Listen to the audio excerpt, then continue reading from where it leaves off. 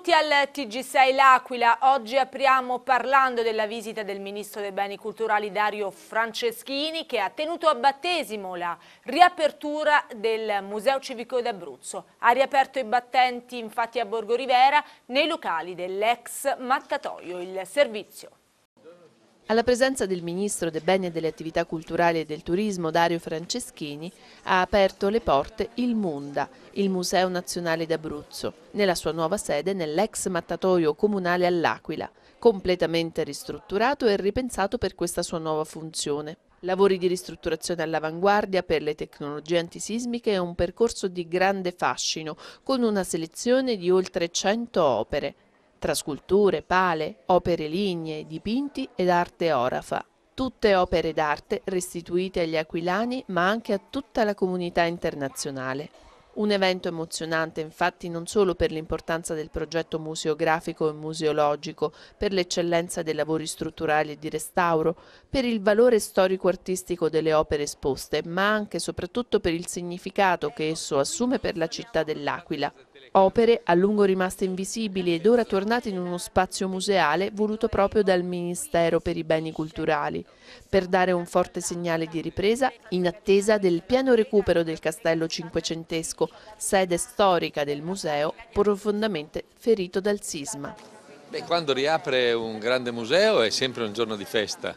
Quando poi un grande museo come il Museo Nazionale d'Abruzzo riapre all'Aquila è doppiamente una giornata di festa perché è una restituzione alla città, è una restituzione al paese, è una battaglia vinta con un museo che riapre con opere straordinarie, con una bellissima collezione in un allestimento nuovo che consente anche di esporre eh, opere che non erano mai state esposte nella precedente sede, davvero è un pezzo importantissimo della, della ricostruzione dell'Aquila e della restituzione del, dell'Aquila e del suo patrimonio a tutto il mondo. Questo è un museo di, di rilevanza europea, è un museo che racconta della, gra, della, grande arte, della grande arte finora assolutamente sconosciuta, poco nota, poco studiata, poco apprezzata, poco compresa ed è per me un grandissimo motivo di orgoglio oggi mostrare finalmente questi capolavori che ho avuto modo negli ultimi sei anni di esibire a piccole mostre tematiche eh, che ho portato un po' in giro, ma adesso vederli qui riuniti assieme ad altre opere che sono appena tornate dai laboratori di restauro, dai depositi, per me è un motivo di orgoglio veramente grandissimo. Ora la cronaca, era stato arrestato per atti persecutori ma ha continuato ad infastidire la sua ex fidanzata e per questo gli è stato imposto un nuovo divieto di avvicinamento. È accaduto a un 36enne aquilano residente nel comune di Lucoli, non potrà più avvicinarsi alla sua ex, anche lei aquilana, residente invece nella frazione di Tempera. Il 5 gennaio scorso l'uomo era stato arrestato in fragranza di reato mentre fuori della casa della donna aveva dato in escandescenza costringendola a difendersi addirittura con un coltello tempestivo tempestivo l'intervento dei carabinieri della stazione di Paganica guidati dal maresciallo Nunzio Gentile che hanno evitato il peggio in quell'occasione. La giudiziaria con l'inchiesta su Ecosfera, nuove rinvii a giudizio. L'operazione, la ricorderete, è quella denominata Caligola che ha coinvolto la società Ecosfera e la regione Abruzzo su presunte assunzioni clientelari in cambio di appalti pilotati. Il processo ci sarà nel maggio prossimo, i particolari nel servizio. Nove persone rinviate a giudizio dal GUP del Tribunale dell'Aquila Domenico Canosa nell'ambito dell'inchiesta Caligola che coinvolse la società Ecosfera e la regione Abruzzo su presunte assunzioni clientelari in cambio di appalti pilotati. Le indagini della squadra mobile di Pescara causarono un vero e proprio terremoto in seno all'ente regionale con sette misure cautelari nel gennaio del 2012. Il processo ci sarà nel maggio prossimo. In dibattimento andranno Duilio Gruttadauri, allora presidente del Consiglio di amministrazione e socio di Ecosfera, la moglie Anna Maria Teodoro, ex socio di Ecosfera, Lamberto Quarta, ex consulente della società ed ex capo della segreteria dell'ex presidente della regione Abruzzo, Ottaviano del Turco. Giovanna Andreola, ex dirigente del Servizio Attività Internazionali della Regione, il marito Michele Galdi, ex consulente di due società che secondo i PM sono riconducibili ad Ecosfera, Corrado Troiano, socio della società Cyborg, Mario Gai, ex vicepresidente dell'Osservatorio Interregionale Cooperazione e Sviluppo, Camillo Cesarone, ex capogruppo del PD in Consiglio regionale, e Domenico Peca, ritenuto dai giudici prestanome per alcune attività di Ecosfera stessa. È stato prosciolto invece dalle accuse Bernardo Notarangelo, già presidente della commissione di gara relativa all'appalto contestato dalle indagini. Il 118 del nosocomio aquilano ha una nuova ambulanza che arricchisce il parco macchine già a disposizione. A breve verranno inaugurati anche i locali ristrutturati del Delta chirurgico. Filippo Tronca ci racconta tutto. Il pronto soccorso dell'ospedale San Salvatore dell'Aquila si arricchisce di una nuova ambulanza, trazione 4x4. È il terzo mezzo acquistato quest'anno dall'azienda sanitaria per rafforzare l'intera flotta del 118 operante in tutta la provincia dell'Aquila. L'ultimo veicolo per il soccorso, che approda al grande garage dell'azienda, è stato consegnato con tanto di benedizione del vescovo Giuseppe Petrocchi. Verosimilmente, entro il primo quadrimestre del 2016, poi, arriveranno altri sette mezzi di soccorso previsti dalla gara europea che la Regione sta per avviare per tutto l'Abruzzo.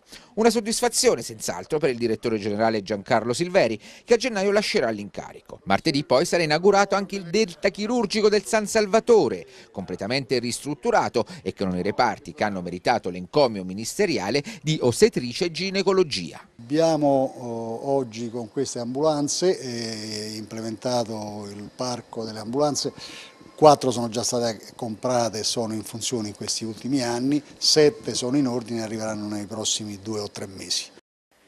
La magica casa di Babbo Natale per i bambini aquilani nel primo palazzo del centro storico restituito alla città, Palazzo K. Cappelli in Corso Vittorio Emanuele. Nel periodo natalizio i bambini aquilani potranno incontrare nella sua magica casa Babbo Natale e anche imbucare la letterina indirizzata a Santa Claus nella speciale cassetta delle poste. E domenica arriverà anche un ospite speciale, la vera renna di Babbo Natale, la renna Rudolf, il servizio nel centro storico dell'Aquila, sul corso, si è aperta la porta della casa di Babbo Natale, un ufficio per ricevere le letterine dei più piccini, uno spazio dove il vecchio barbuto possa riposarsi dai frenetici viaggi per la consegna dei doni, tutto intorno a un bellissimo albero addobbato di luci per la festa dei piccoli aquilani. C'è Babbo Natale in persona in questa casa di Babbo Natale insieme all'Unicef. Che scopo ha questa iniziativa? Un grande scopo, siamo dalla parte dei bambini e siamo pronte sempre a lottare per loro. Oggi abbiamo scelto questa giornata per promuovere i valori dei nostri bambini che vengono seguiti tutti i giorni intensamente dal nostro Unicef. Che cosa potranno fare i bambini qua? Che cosa riceveranno? Allora, i bambini riceveranno un dolcetto da Babbo Natale e il magico timbro di Babbo Natale. Daremo tanti regali a tutti i bambini, tante, tutti speranze. I tante speranze. Buon Natale! E ora la pagina sportiva con l'Aquila Calcio a Lucca oggi per continuare a vincere. Importantissimo impegno in chiave salvezza per l'11 di mister Perrone che dopo l'importante vittoria ottenuta in casa lo scorso sabato non vuole interrompere la striscia positiva e vuole soprattutto chiudere l'anno in bellezza. Ultima partita del 2015 per l'Aquila, di scena a Lucca nel penultimo turno di andata del girone B di Lega Pro.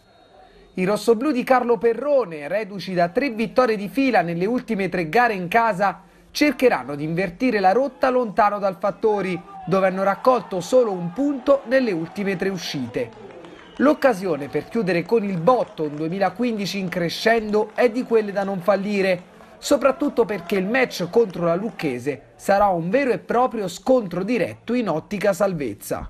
Sul fronte formazione, dopo l'ipotesi 3-5-2, nelle ultime ore sono salite le quotazioni di un passaggio al 4-4-2, così da impiegare Tommaso Ceccarelli da esterno d'attacco e allo stesso tempo rimediare all'assenza forzata di Salvatore Sandomenico causa squalifica. Il centrocampo sarà completato da Manuel Mancini, da De Francesco e da Triarico sull'out di sinistra. In attacco dovrebbero partire di nuovo entrambi dall'inizio sia Raffaele Perna che il capitano Claudio De Sousa. Appuntamento alle ore 17.30 allo stadio Porta Elisa di Lucca. E con lo sport termina il nostro TG6 L'Aquila, io vi ringrazio per averci seguito, continuate a seguire TV6 per la consueta programmazione, arrivederci.